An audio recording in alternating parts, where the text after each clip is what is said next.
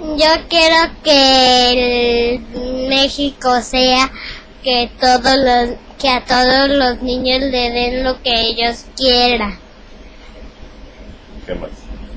Y yo me llamo que haya parques, más árboles y haya juegos.